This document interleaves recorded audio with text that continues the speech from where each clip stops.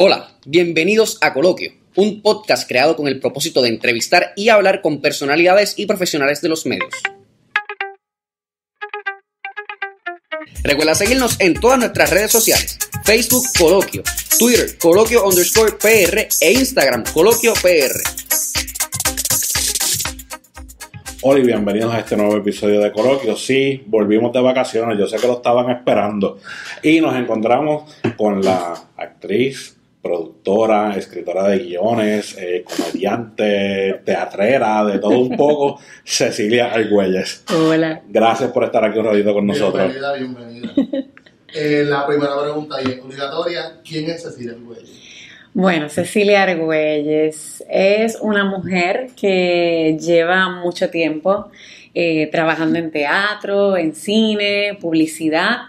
Eh, también tiene preparación en educación, soy profesora. eh, Eso se me olvidó. pero está por ahí. Eh, y también soy escritora, así que me gusta ser una persona bien diversa. Eh, no me gusta estancarme en una sola cosa. De hecho, también fui atleta, deportista, Mira para allá. corredora. Así que siempre trato de, de reinventarme porque me aburro. Si hago una sola cosita, me aburro. Yo no sé igual de que pecamos todos Yo-. Sí, yo creo que Exacto, sí. es parte, es parte de. Y nada, era como estábamos hablando ahorita, aquí él y yo.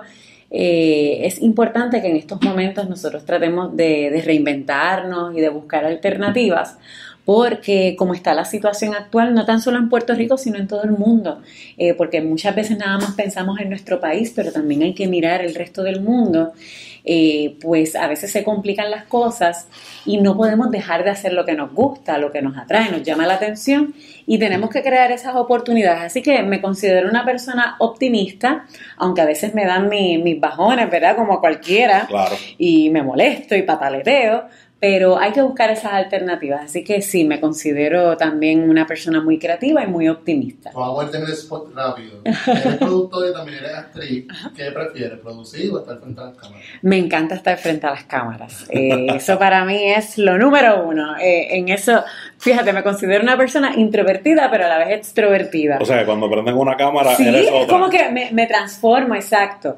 Pero eh, a nivel personal, pues sí, soy introvertida. Eh, no soy como que la más jangueadora del mundo, el centro de atención de las actividades. No, no tiendo a ser así. Eh, disfruto más de escuchar y de ver a la gente ser así. Pero cuando prenden las cámaras, pues me transformo y eso me encanta. Y la parte de producción también eh, es es una faceta que, que me transporta a hacer otras cosas y a asumir unos roles este, detrás de las cámaras que también me gusta mucho. ¿Cómo, ¿Cómo ha cambiado, sea para bien o para mal, en la producción en Puerto Rico con la llegada de las redes sociales? Pues fíjate, yo creo que para bien, veo que es para bien porque le da la oportunidad a gente nueva, gente que tal vez no tiene esa posibilidad de entrar a estos grupos o a estas piñas, ¿verdad? Eh, que ya están establecidas por mucho tiempo y que no le dan cabida a gente nueva a exponer su trabajo. ¿Qué pasa? Por ejemplo, pues tal vez tú no eres conocido, tal vez tú no tienes este, la entrada a esos grupos y a través de las redes sociales y a través del internet das a conocer tu trabajo. Claro. Y no tan solo localmente, sino también internacionalmente, que es lo más maravilloso del mundo. Así que yo creo que es para bien, más que para mal. Claro, eso sí, eh, por cuestiones tal vez de, a la hora de conseguir dinero, auspicios y todo esto, pues se hace tal vez un poquito más difícil, porque entonces son más personas las que están compitiendo pues para poder producir, hacer proyectos. Entonces, pues vamos a suponer, si tú vas a una panadería a pedir un auspicio, pues puede ser que ya 10 o 20 personas fueron allí a buscar un auspicio, tal vez pues para desarrollar un proyecto parecido al tuyo Claro. o pues de la misma área. que la. Y, y siguiendo así también por, el- por, la, mis- por la misma línea, cómo esas mismas redes sociales han ayudado a lo que es el teatro puertorriqueño. Igualmente, igualmente porque ayudan a promocionar. Eh, por ejemplo, eh, aquí hacer teatro y cine es muy costoso. Entonces, eh, muchas veces los productores tienen que invertir un dinero, por ejemplo, en pagarle a los actores, Claro. a los técnicos, alquilar el teatro. Comprar los boletos para revenderlos, porque por ejemplo, cada vez que tú eh, tienes tus boletos en, en una de estas eh, boleterías, te cobran por eso. Entonces es tanto el dinero en que se tiene que invertir en teatro y en cine que entonces las producciones se quedan cortas en cuanto a promoción. Wow. Y entonces ahí están las redes sociales maravillosas. Yo espero que el de Facebook y, y de estas otras redes no empiecen a cobrar por los servicios de promoción, que ya lo están haciendo, pero por lo menos todavía hay esa posibilidad de, de tu promocionar sin tener que invertir tanto dinero pues eh, le permiten a uno pues poder eh, presentar tus proyectos y darlos a conocer a través de las redes sociales. Así que sí, es maravilloso. ¿Piensa que el factor dinero es una barrera para que evolucione el teatro y el cine en Puerto Rico? Sí, sí. Eh, el problema es que si tú no tienes cómo promocionarte, si tú no tienes cómo pagarle, por ejemplo, a unos técnicos o a unos actores o garantizarle algo de paga, porque el problema es que muchas veces se pretende hacer trabajo gratuito. Y eso tal vez está bien para personas que están comenzando. O sea, cuando tú estás comenzando, pues uno empieza desde abajo y pues poco a poco tú vas pues creando, ¿verdad? Tu imagen o, o, o pues este, lo que es tu concepto de trabajo. Pero ya una vez tú tienes mucha experiencia, tú necesitas ganar un dinero, tú necesitas Claro. cobrar por ese trabajo, porque imagínate, entonces después te ponen el sello de que, ah, fulanita, pues ella nunca cobra, pues vamos a seguir utilizándola. Entonces ah, se abusa de eso y entonces, pero uno tiene que pagar unas deudas, uno tiene que pagar unas cosas, ¿verdad? Y es sumamente importante pues generar ese dinero. Entonces, si la producción no tiene ese dinero para pagarle a sus recursos, pues entonces limita la posibilidad de poder presentar ese, ese proyecto. ¿Los productores en Puerto Rico cuentan con algún tipo de incentivo del gobierno que les ayuda a facilitar que, que, que, que salga la producción hacia adelante? Mira, eh, por ejemplo, ahora mismo el Centro de Bellas Artes, boom, ahora mismo en teatro, el Centro de Bellas Artes tiene un programa buenísimo, excelente, que se llama Residencias. Y tú sometes una propuesta como productor eh, y ellos eh, te cubren una, la mayoría de los gastos de la producción. bien. Ahora bien, ese proyecto tiene que ser no comercial. Eh, no puede ser una obra muy común, no puede ser, tiene que ser una obra muy rara eh, conceptualmente para que ellos puedan cubrirte eh, lo que sería, pues, por ejemplo, los ensayos, este, el estacionamiento, las promociones, etcétera, etcétera.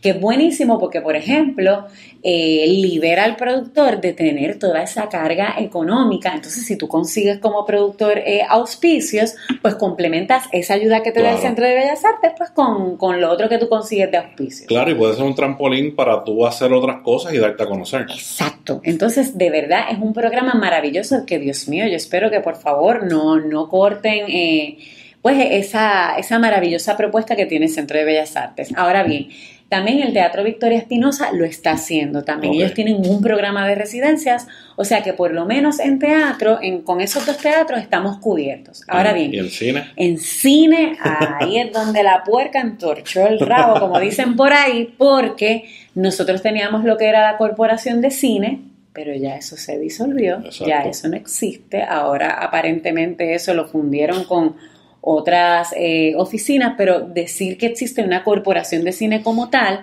no lo hay. Entonces, ¿qué pasa? Por ejemplo, antes nosotros teníamos la posibilidad de someter propuestas para largometrajes o cortometrajes y la Corporación de Cine te, pues si aprobaba tu propuesta, te daba una cierta cantidad de fondos pues para hacer este tus proyectos. Por ejemplo, yo trabajé en un proyecto que se llama, es un cortometraje que se llama El extraordinario señor Júpiter. Ese cortometraje, que fue uno, bueno, que tuvo mucha cobertura, que participó en un montón de festivales y todo esto, pues agraciadamente participó en una convoca- convocatoria de la Corporación de Cine y de ahí, si nosotros ganábamos la convocatoria, nos daban 10 mil dólares. Y bueno, pues no es mucho dinero, para cine no es tanto dinero, pero es un alivio Claro, económico. claro, claro, y entonces ya eso nos obligaba a nosotros buscar los otros fondos, pero ya por lo menos partíamos de esa base. Ahora mismo, pues no contamos con eso. No contamos con eso. Eh, por ejemplo, hay unos proyectos, unos largometrajes que se hicieron en años anteriores que también fueron cubiertos en parte por la Corporación de Cine. Y ahora mismo, pues no. Eh, también tuve la oportunidad de trabajar un proyecto independiente, un cortometraje que se llamaba Fisura, ese cortometraje fue aceptado en diversos festivales internacionales y, por ejemplo, la Corporación de Cine, por tu proyecto participar internacionalmente y representar a Puerto Rico fuera, te cubría parte de los gastos pues, para participar en el festival y tú ser la cara eh, de Puerto Rico en el festival. O sea que sí hubo eh, unos muy buenos momentos para el cine hace unos años atrás, pero ahora mismo eso no lo tenemos. ¿Y cómo compara eso pues con tal vez eh, películas eh, de Estados Unidos que quieran grabar acá en la, en la isla? ¿Qué tipo de incentivos hay para esas películas? Vamos a darle esa pregunta. Es que yo tengo entendido, cuando son producciones que vienen de otros países a Puerto Rico, se les dan unos incentivos porque ellos van a generar empleo y que como tienen todo ese club de trabajo y todo, van a, todo ese dinero se, queda. Estamos haciendo comillas. Estamos haciendo comillas en el aire. Pues se les da un poquito más de cariñito a esas producciones versus producciones locales que terminan yéndose a producir en otros países. Sí. Qué bueno que tú mencionas eso, que ambos lo mencionan, porque sí, es cierto. Ahora mismo eh, se quería bregar con, con este incentivo, supuestamente se quería legislar para que fuera menos eh, y no fuera tanto pero ahora mismo no sé qué ha ocurrido con eso porque se quería trabajar con esa legislación. Sí, eh, si vienen producciones de afuera, eh, se tiende a, proporcionar unos incentivos que, favorecen muchísimo a estas producciones internacionales, específicamente de las que vienen de Estados Unidos. Pero mira cuál es el problema. Muchas de estas producciones ya traen sus técnicos. O sea que la cantidad de técnicos empleados como puertorriqueños nacionales son muy pocos. Son muy pocos. Sí, la eh, comparada con la de una producción boricua, que va a tener más empleados de aquí. O sea, hace la gran diferencia que eventualmente no están generando nada. Exacto, que lo que se genera es muy poco. Igualmente pasa en la parte actoral, o sea, casi siempre los actores puertorriqueños que participan en estas producciones, pues bueno, son o extras o tienen algún rol muy pequeño porque obviamente ya ellos vienen con todos sus actores desde Estados Unidos y a la hora de, los actores puertorriqueños tener participación en estas producciones, pues son participaciones muy mínimas. No son tantos los actores que se benefician de participar en estos proyectos. Así que, pues sí, eh, no nos favorece a nosotros las producciones puertorriqueñas porque entonces nosotros nos quedamos cortos. Si se hiciera tal vez este, esas mismas concesiones con nosotros, pues sería de un, gran beneficio. Por ejemplo, algo que nos afecta muchísimo es el tema de Caribbean Cinemas. No sé si estaban pendientes de este tema, que hace unas semanas pues salió Denis Márquez hablando de todo esto, de cómo, por ejemplo, las producciones puertorriqueñas se afectan cuando se presentan en los cines de Caribbean Cinema porque se nos trata como si fuéramos producciones de Hollywood adineradas cuando no es una realidad la cantidad de dinero que puede generar una película puertorriqueña en comparación a una película de Hollywood es bien poquita. Entonces tú me estás cobrando por proyector, tú me estás cobrando por los ujieres o por presentar en el teatro. Entonces, ¿qué pasa? Que nada más eh, te dan dos semanas lo máximo para tú presentar la película puertorriqueña. Oh, Entonces, ¿qué pasa? Que si tú no mueves la mayor cantidad de personas esas dos semanas, ya te dicen, no, son dos semanas, si tú no me mueves la cantidad de personas que yo necesito mover, lamentablemente tenemos que poner en sala otra película. Si no tienes la promoción necesaria, no van a llegar al cine. Que de eso estábamos hablando ahorita, que entonces, de, eh, tú sabes, si tú no tienes la promoción, la gente no se entera que el proyecto existe y pues puede ser que vaya un puertorriqueño y diga, ay, mira una película puertorriqueña, la quiero ver, se ve buena, pero déjame ver primero todas las de Hollywood que salen ahora en este mes y cuando yo tenga tiempo, entonces voy a ver la puertorriqueña. Pero ¿qué pasa? Que cuando va a ver la película puertorriqueña ya la sacaron de cartelera y eso sí es un gran problema para los productores puertorriqueños. Entonces yo creo que sí se tiene que legislar, los políticos creo que, tienen que tomar decisiones más agresivas para favorecer a, al talento puertorriqueño. Lo mismo pasa en televisión, estamos sin televisión. Son tantos los canales que supuestamente tenemos, pero realmente somos retransmisoras de, de canales internacionales, porque por ejemplo aquí tenemos pues... Eh, por ejemplo, Univisión, tenemos Telemundo, pero sus bases son internacionales. Y entonces es bien poca la programación puertorriqueña que hay. Eh, Sí, eso es lo que estábamos hablando ahorita, que existe sí un Sunshine Logroño, pero viene desde corriendo desde los 70, 80. Ex- exacto. El mismo Raymond Arrieta, pues que Igual. sigue haciéndolo eh, lo mismo con, con su comedia, pues sí, evoluciona un poco, pero, pero es la misma gente de, de son los hace mismos. 15, Y creo 20, que eso es lo 30 mismo, que es la años. misma gente haciendo lo mismo. Lo mismo también, exacto. O sea, que llevan 15, 20 años. que se reformulan y tratan de hacer unos cambios y, y, bueno, y por lo menos tienen un, un taller de trabajo para, para alguna gente, pero entonces, ¿dónde están los talentos nuevos? Claro. ¿Dónde están todos estos jóvenes que se gradúan en producción, en, eh, como técnicos, como actores y dónde está el trabajo? Qué bueno que lo menciona. Piensa que, por decirle, por decirle una palabra, ese egoísmo de, de, de la vieja escuela, en no darle ese espacio a los que están subiendo, porque el talento lo hay.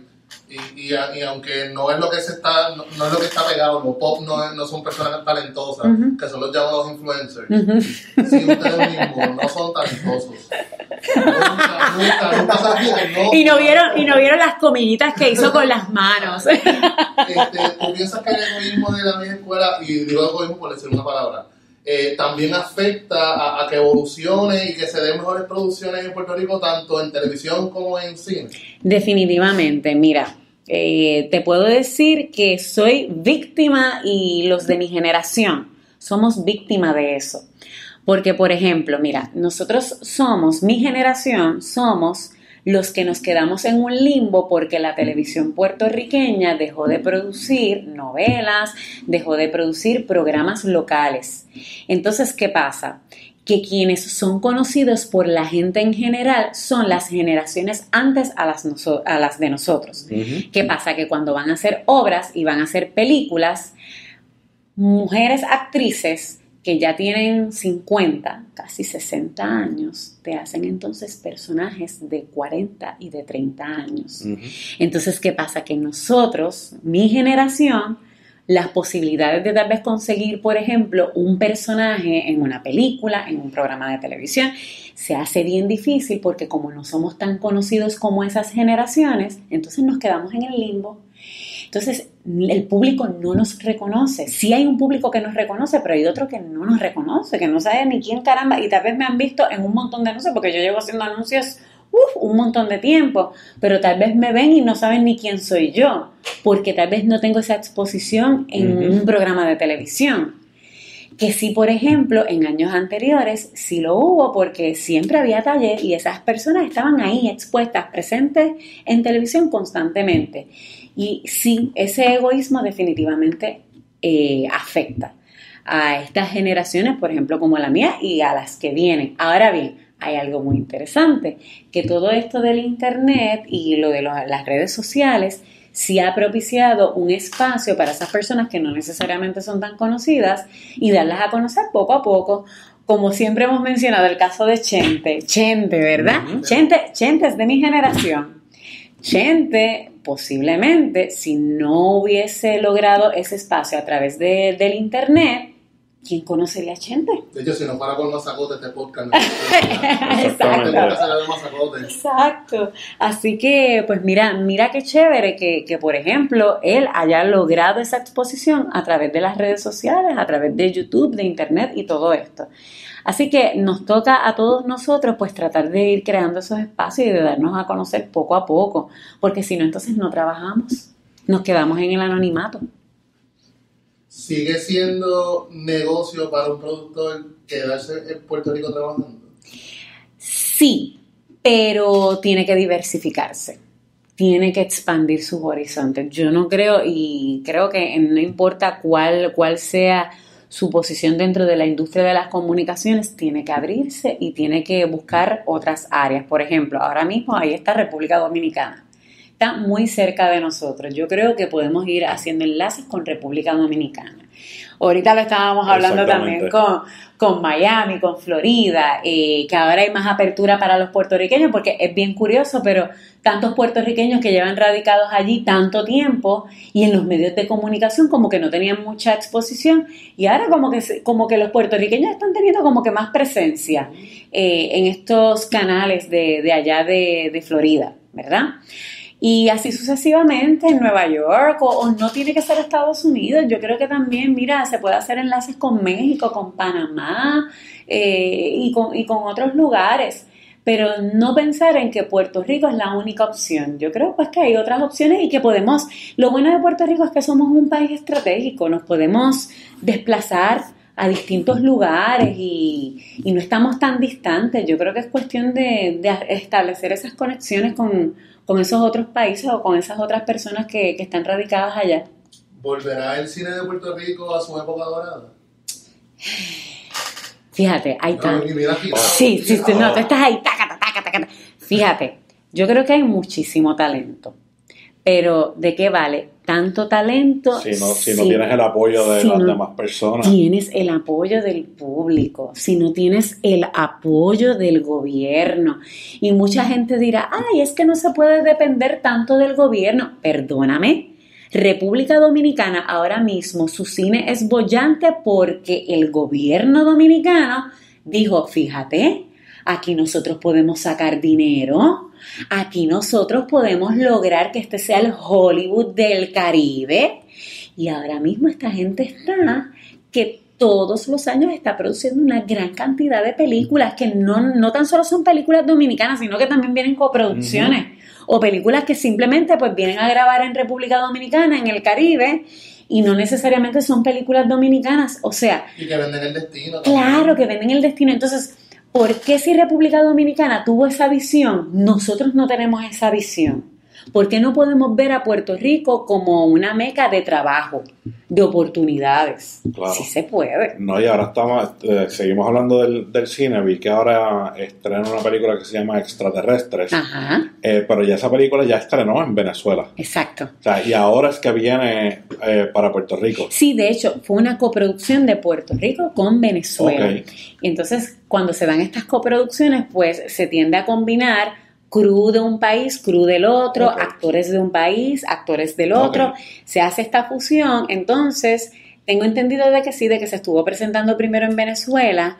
Entiendo que tal vez eh, así lo establecía el contrato o estratégicamente ellos decidieron lanzar el proyecto de esa manera, tal vez hacer ruido más eh, en países latinoamericanos Claro. para después venir aquí a Puerto Rico, pero creo que va a ser muy buen proyecto. Carla Cabina es una mujer muy preparada, de mucha experiencia.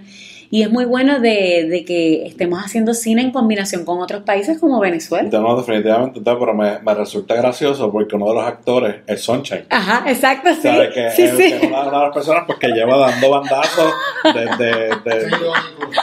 Pero también está la Sí. protagonista, sino una de las protagonistas es Maricé Álvarez de, Exacto, de- de Teatro. Breve, que es de la nueva cepa, Claro. esa nueva generación, que mira, enhorabuena por ella. Claro que sí, sí, sí. Estás combinando talento viejo con talento nuevo. Exactamente. Y, y nada, yo creo que es cuestión de eso, de, de movernos a esas oportunidades y de combinar, qué bueno que mencionas eso, combinar talento nuevo con talento viejo. Claro. ¿A qué, qué le cuesta a una producción meter a un montón de personas experimentadas o ya reconocidas con gente que no necesariamente están conocidas? No vas a es perder. ejemplo, este broche de oro, un gran Exacto, ejemplo. es un gran ejemplo. Una tremenda película, bueno, a mí me encanta esa película. Que de hecho viene la parte 2 por ahí, ya la terminaron y están en postproducción, Ah, así que bien. próximamente la verán por ahí. Qué bien, pues eso con mucho gusto voy y la veo al, al cine. Porque la- Es que son películas que valen la pena y realmente sí. eh, Que si no ver exactamente. otras porquerías de otros zánganos, pues, y a ver películas buenas, pues las. Oye, oye, Cecilia, yo estuve leyendo, haciendo un poquito, Ajá. buscando así un poquito más, más, más de ti. Tú has ganado premios. Sí, Te he eh, homenajeado. oh, sí, claro que sí. asignación. Muy bien, muy bien, buscaron, buscaron. Sí, eh, tuve la oportunidad de ganar un premio como mejor actriz en el Festival de Cortometrajes de Cine Fiesta, que es un festival que por mucho, tu- mucho tiempo estuvo aquí en Puerto Rico, que, bueno, imagínate, participaban cortometrajes de todas partes del mundo. Y precisamente uno de los proyectos que se vino a ver afectado por esta crisis económica fue Cine Fiesta. Ellos como festival estuvieron mucho tiempo y el año pasado, por ejemplo, ellos no pudieron hacer el festival. Y en el 2012 tuve la oportunidad de ganar ese premio, compitiendo pues con, con, otras colegas actrices que también hicieron excelente trabajo. Pero yo súper emocionada porque imagínate, pues olvídate, gané, qué bien. Y también gané en el Rincón International Film Festival, que también es otro festival de cortometrajes, también participando ahí con, varias colegas y distintos proyectos. Así que también este, fui homenajeada como de Stolacén, tremendo actor puertorriqueño, en otro festival, en el Festival Internacional de Cine de San Juan. Así que sí, eh, he logrado esas cosas, eh, quiero hacer más eh, me gustaría hacer algún proyecto donde tenga la oportunidad de desarrollar un personaje en un largometraje. Porque una cosa es tú hacer un personaje en un cortometraje y otro en un largometraje. Un largometraje requiere de, de que tú mantengas, ¿verdad? Un personaje uniforme durante toda la historia y puedas presentar esa gama de emociones. sí, exacto, durante todo el proyecto sin que el público se pierda y te crea el personaje. Y quisiera hacer eso en algún momento, ojalá se me dé la oportunidad, aspiro a eso en algún momento. Así que nada, vamos a ver cuándo, cuándo llega. Mire, ¿qué proyectos tienes corriendo ahora mismo? Pues ahora mismo estuve participando en una obra en corta Corta se estuvo presentando en Bellas Artes eh, el mes pasado, fue muy exitosa, tocaba un tema muy fuerte que era el tema del cutting o la automutilación. Estuve participando con Carlos Esteban Fonseca, con Mili Ruperto y con actores nuevos. María Angeli Vélez, que fue la actriz principal, es la que va a ser el protagónico de la película de Vico Sí, que próximamente va a salir por ahí. Así que pues fue un, un elenco maravilloso y un proyecto maravilloso. Ahora mismo estuve participando en la película de Luis Molina, que es inspirada en Carlos Manuel, que es el santo puertorriqueño, es este hombre que quieren canonizar, que ya se hizo la propuesta para que lo canonicen a través del Vaticano. Pero ya es un beato. Es este, sí, eh, es un beato y pues la película como tal te refleja la historia de él desde niño hasta cuando él muere. Eh, así que es una película como quien dice histórica biográfica y pues se tuvo que recrear pues época pasada y conseguir esos vestuarios, esos carros antiguos, todo eso, bueno, una producción bien bien pesada en cuanto a producción, pero yo creo que va a quedar muy linda y bueno, ellos hicieron excelente trabajo, así que tuve la oportunidad de participar ahí. Y nada, próximamente también viene un cortometraje, pero hasta que no se perfile a profundidad lo que vamos a hacer, pues no, no voy a dar detalles, ¿verdad? Porque no me gusta, porque a veces uno adelanta información y de repente entonces el proyecto se quedó ahí como que a mitad y, y entonces uno se queda como que, ay, después que está dijo que, oh, iba a participar en tal cosa. este, ¿Qué es lo próximo para Cecilia como profesional dentro de todos los proyectos que ella está haciendo? Pues ahora mismo eh, estoy en conversaciones con este director. Eh, queremos hacer un, proyecto que le dé impulso a él, porque él quiere hacer algo diferente, y que me dé impulso a mí, porque yo también quiero hacer algo diferente. Él me propuso eh, escribir parte del guion y él escribir parte del guion. Entonces, pues sería como un guion experimental porque sería combinando las ideas de él con las ideas mías. Entonces trabajaríamos también a nivel de, producción. Queremos hacer algo bien low budget, pero bien hecho. Este, así que vamos a trabajar con bien pocos recursos económicos, pues, este, porque no estamos para gastar tanto dinero, pero sí lo queremos hacer bien hecho y por eso queremos hacer una muy buena preproducción, porque algo que le tengo que decir a la gente, la clave de todo es la preproducción. Tú podrás tener la idea más maravillosa del mundo, tú podrás tener los recursos eh, técnicos más maravillosos del mundo y los talentos más maravillosos del mundo, pero si no haces una preproducción sólida donde cuides todos los detalles, se te escocota cuando estás ya en plena producción y en postproducción.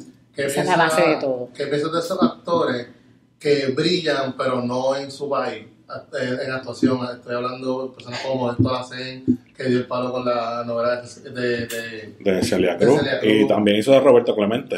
Qué bueno que tú haces, qué bueno que hacen esa pregunta. ¿Por qué? Porque yo creo que nos falta mucho como país aprender a apreciar nuestros talentos. Definitivamente muchos de estos actores se han tenido que ir de aquí porque aquí no le dan las oportunidades o las oportunidades que se le dan son bien mínimas o pequeñas. Entonces pues ellos dicen pues para qué yo voy a seguir aquí. Si sigo nadando en lo mismo, pues déjame irme a probar suerte en otro sitio. Y definitivamente Modesto lleva un montón de años radicado en Nueva York. Y ahora es que entonces él viene a tomar vigencia, una persona que lleva tanto tiempo esforzándose, que sabemos que tiene el talento. Y, y no tan solo él, hay muchísimos más que están en las mismas. Y bueno, lamentablemente, pues cuando uno ve que la cosa no trasciende, pues uno tiene que, tomar esas decisiones. Yo lo he pensado muchas veces eh, y sé que hay muchos compañeros también de mi generación que lo han pensado un montón de veces. Y sí, en cierto modo estamos contemplando otras oportunidades. No obviamente irme de aquí completamente, pero sí empezar a abrir horizontes y, explorar otras cosas. ¿Y qué Mira. te ha hecho quedarte en Puerto Rico? Bueno, obviamente, pues la familia, siempre ay, está ese vínculo bien fuerte, eh, pero sería básicamente eso, porque fíjate, no le tengo temor a, a explorar este, otras culturas. A mí me encanta viajar y, me gusta apreciar este gente de, de otros países, no le tengo miedo eh, en cuanto a eso, pero es basi- básicamente la cuestión familiar. Pero en algún momento yo sé que van a llegar esas oportunidades. Hay unas conversaciones por ahí, pero no puedo dar detalles. No. Vamos a ver qué pasa. Deseenme suerte, porque esto es cuestión también de suerte.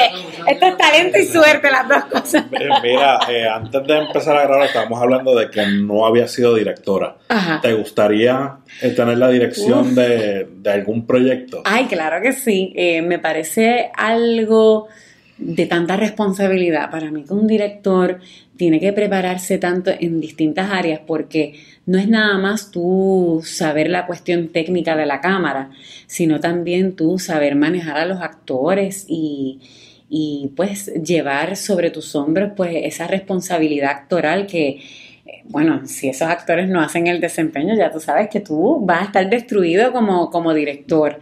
Así que es cuestión de combinar lo técnico, lo actoral, pero también esa parte de producción, porque es que aquí, aquí en Puerto Rico, tú para ser director tienes que manejar también la parte de producción. Es bien difícil que un director no trabaje la parte de producción, así que tienes que estar empapado y sumergido en todas esas áreas. Entonces, ahora mismo lo que yo entiendo que a mí me hace falta sería la parte técnica. O sea, la cuestión de cámara, de luces y todo eso, me gustaría prepararme más en esa área para en algún momento, pues, dar ese próximo paso. Porque por lo menos en la parte actoral me siento muy preparada y en la parte también de producción me siento preparada porque he pasado por la experiencia, he trabajado y, y, pues sé, sé lo que conlleva una preproducción, una producción y una ¿Se postproducción. te hace más fácil a la hora de trabajar como has producido y eres actriz? ¿Se hace un poquito más cómodo a la hora de trabajar porque has estado en los dos zapatos? Exacto. Sabes cómo se lo saber Ajá. lo que está pasando el productor, si está actuando, Sí. saber lo que pasa el actor si está produciendo. Sí, sí, sí, sí. No, definitivo, yo creo, yo creo que eso me, me abre los ojos a poder comprender a, a los colegas. Este, no importa desde qué posición yo esté, si estoy en la parte actoral o en la parte de producción, eh, tiendo a tener pues más paciencia. Tal vez más paciencia que una persona que tal vez no ha estado al otro lado. Así que, pues sí, eh, puedo comprender cuánta responsabilidad conlleva cuando uno está con el sombrero de productor o cuando uno está con el sombrero de actor. que a veces los productores no entienden que uno pasa por unas crisis y unas cosas. Y ese no era el mejor día para uno grabar, pero uno tiene que grabar. Esas cosas pasan. The show must go on. Ajá, hay que continuar. Ay. ¿Cómo te tiempo? Estamos bien. Ya, haz la última. Pues ya vamos, ya vamos Ok. para casi 35 minutos. Muy bien, mira. Sí. Y ustedes han estado afilados ahí. Pam, pam, pam. Es el tiempo que vamos sin Eh, Exacto. Este, esta es la última pregunta, nos la estamos votando, pero dependiendo de tu contestación se puede extender. Eh, ¿Qué tú les recomiendas a todos esos estudiantes de producción, estudiantes de actuación, que ellos necesitan para una para no quitarse porque es fuerte y otra para creer en producir en la isla y no irse de la isla a otro. Ok, fíjate, te voy a hablar tanto en producción como en cualquier área, no importa. Yo creo, primer paso, educarse, tomar en serio sus clases, su formación, porque esa es la base de todo. Si tú vas, por ejemplo, a la universidad a perder tiempo, pues te quedas con unas lagunas bien profundas. Entonces, ¿qué pasa? Que en el camino te empiezas a encontrar a gente bien competitiva. Gente que sí tomó en serio, bien en serio las cosas. Y entonces a la hora de trabajar, pues tú te quedas como que, wow, yo no me acuerdo de esto. O entre ¿en qué momento fue que a mí me dieron? ¿En qué clase fue que, dieron ¿en qué clase fue que me dieron esta? Entonces ahí es donde uno entra en crisis, porque uno dice, wow, yo estaré preparado para esto, o yo podré seguir en esto. Entonces ahí empiezan los cuestionamientos de si yo tomé la decisión correcta a la hora de estudiar tal cosa. Entonces empiezan a pensar en me voy a quitar, yo no sirvo para esto.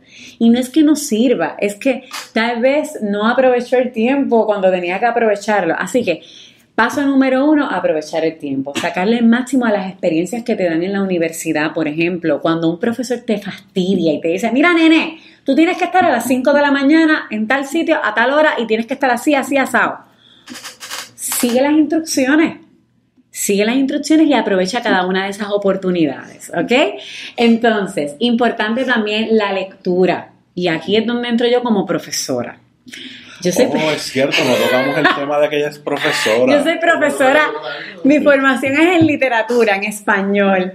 Y lo menos que le gusta a los jóvenes es leer odian leer, no soportan leer. Si tú le das leer más de una página de cualquier cosa, entran en, en un tantrum, ¿verdad? En una histeria. Sí, una crisis bien fuerte existencial, pero hay que leer. Por ejemplo, los productores. Si los productores van a producir un guion o un programa de televisión, tienen que leer los guiones, tienen que leer los libretos, tienen que leer el contenido.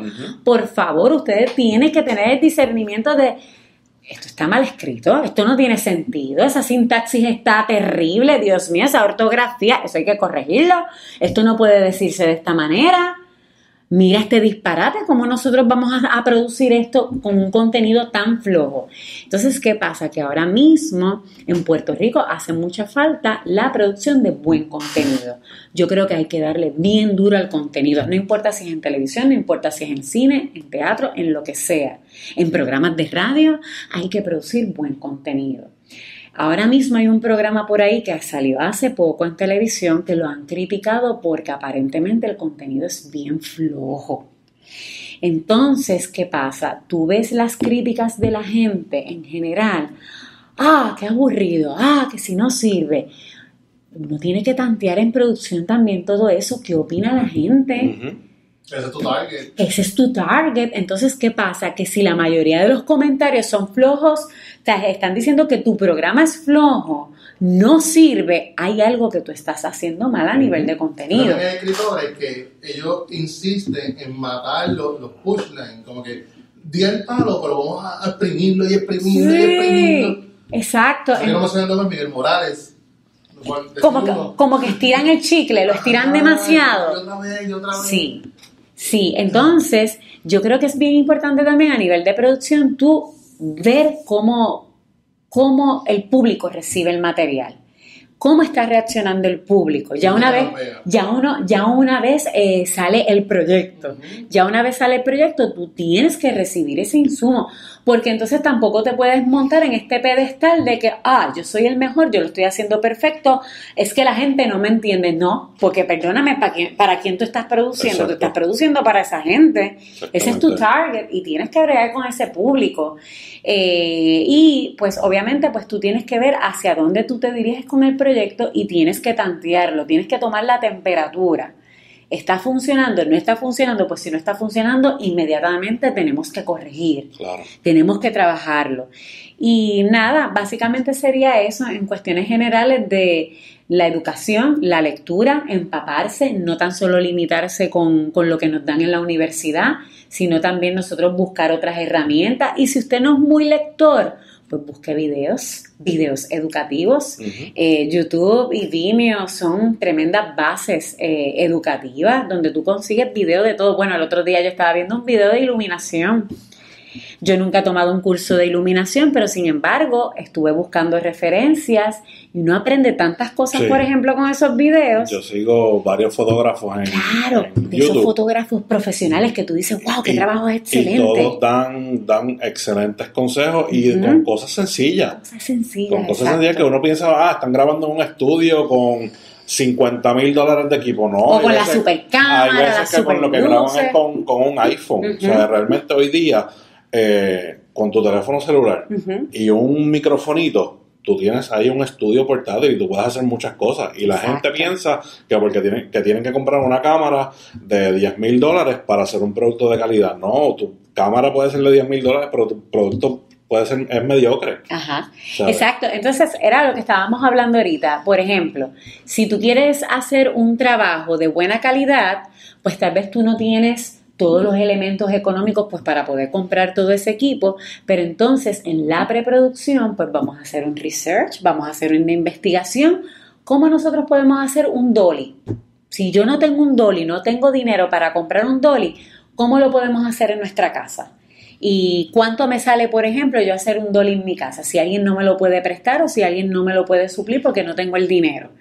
Y entonces son cosas que uno va trabajando dentro de la preproducción, que entonces ya cuando llega el momento de producir, no tienes el dolor de cabeza de que, eh, a rayo, necesitábamos un dolly para estas escenas y no lo tenemos ahora. ¿Y ahora qué hacemos? Entonces perdimos días de producción, de grabación, cuando ya teníamos a los talentos confirmados, porque no estábamos preparados y no teníamos todos los Claro, elementos. y casualmente hoy mismo vi, vi un video y es de esta persona. Él graba todo su contenido en 4K, pues porque tiene el, el- el equipo. Ujú. Y él dice, la paciencia para que no, también no, de- de- definitivamente. Pero entonces él da un truco y dice, si tienes la capacidad de grabar 4K, hazlo en 4K, Claro. tienes el equipo para, aunque lo vayas a subir en 1080, cuando exporte se va a ver de mejor calidad. Claro. Y entonces da un truco eh, de utilizar los keyframes en postproducción que lo hace zoom in al, al video y entonces pones un keyframe eh, al principio, otro al final y parece que estás paneando el tiro. Mira qué interesante, o sea es- que se ve la movilidad de la Exactamente, imagen. exactamente. Yo te voy a decir contestarme esto. ¿Tú piensas que ese nicho de, de, de esa nueva escuela que está produciendo en redes sociales, eh, eh, eh, me refiero a YouTube, Facebook, Instagram, lleguen a, a, a- a tumbar la- los medios tradicionales? Wow, esto está tan acelerado. Podría pasar. ¿Por qué? Es que la gente está cansada de lo mismo. Si hay unas personas pues que se van siempre por lo tradicional, pero es que las generaciones van cambiando, entonces tú no puedes tener al público, al público puertorriqueño con novelas 24 horas al día, porque existe algo más allá que las novelas. Y caso cerrado. por Y caso cerrado. Mano, ah, O Laura en América, tú sabes, basta ya. Si hay un público, pues que se puede entretener todo un día con eso, pero hay un público que ya se cansa y necesita otras cosas. Entonces, ¿dónde está ese público joven? ¿Cómo tú satisfaces las necesidades de ese público joven? O ese público que no es tan jovencito, tan adolescente, tan chamaquito, pero es un público eh, joven, productivo, que quiere hacer otras cosas y quiere ver otras cosas. Entonces, definitivamente, si los canales de televisión tradicionales no hacen nada, pues esas necesidades se van a cubrir a través del Internet. Entonces, o se ponen para su número o la televisión muere. La tradicional. Yo no quiero decir nada más. Bueno, Cecilia, de verdad, no te estamos votando, pero de verdad, Me están votando, pero yo entiendo, yo entiendo. no, pero mil gracias por sacarle tu tiempo estar aquí un rato con, con nosotros. Eh, los micrófonos de coloquio siempre van a estar abiertos. Cualquier proyecto, cualquier invento que tengas, cuentas con nosotros. Súper, muchas gracias y nada, a, a todos los radioyentes que sigan apoyando este tipo de proyectos, porque ustedes también son parte de esa nueva cepa que está haciendo entretenimiento para, para gente y de manera distinta. Así que Nos vemos. A la- Bueno. Bueno, nos vemos, nos escuchamos. Bueno, gente, bueno, nos escuchamos la semana que viene. Bye.